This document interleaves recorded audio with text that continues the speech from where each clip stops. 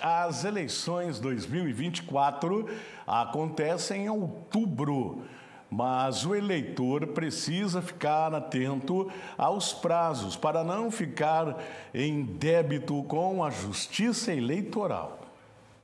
As cidades brasileiras irão eleger no mês de outubro seus novos prefeitos, prefeitas, vereadores e vereadoras no pleito eleitoral de 2024. Porém, para que o eleitor tenha direito ao voto, é necessário verificar se não existem pendências no título eleitoral e, caso seja verificada alguma irregularidade, resolvê-la dentro do prazo estipulado pela Justiça Eleitoral.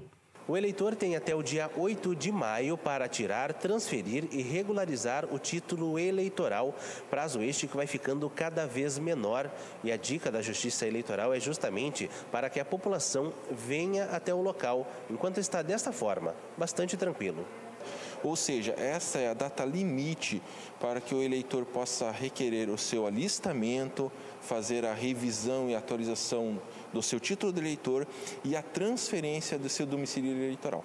Também nessa data é a data limite para que o eleitor possa solicitar, é, informar à Justiça Eleitoral uma deficiência física, solicitar a sua transferência para uma sessão especial, para o eleitor que queira incluir o seu nome social, o seu gênero tudo isso ele tem até o dia 8 de maio para fazer esse requerimento, que pode ser é, preferencialmente pela internet, através do site do Tribunal Superior Eleitoral ou do Tribunal Regional Eleitoral do Paraná, através do, do menu é, Serviços Eleitorais, atendimento, autoatendimento ao eleitor.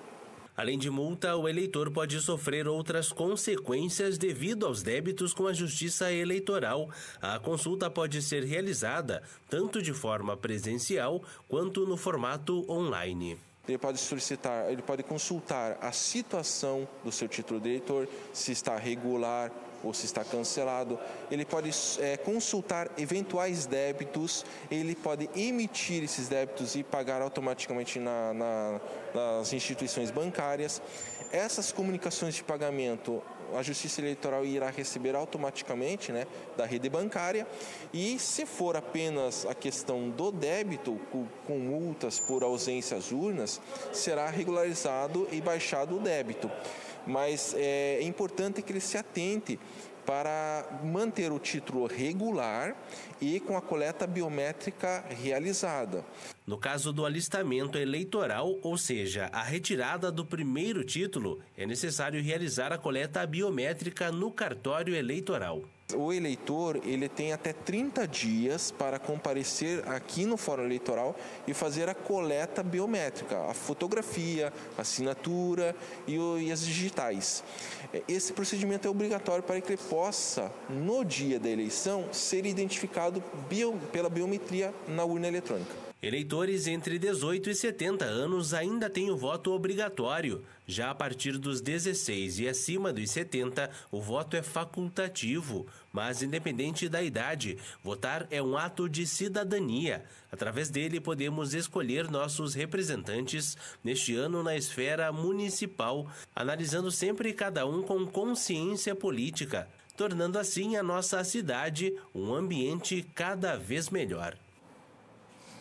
Tá aí, né? E a questão não é só pagar uma multa quando você não vota, ah, vou lá, pago a multa, tá tudo certo, fica tudo regularizado. Não fica. Aqui não fica.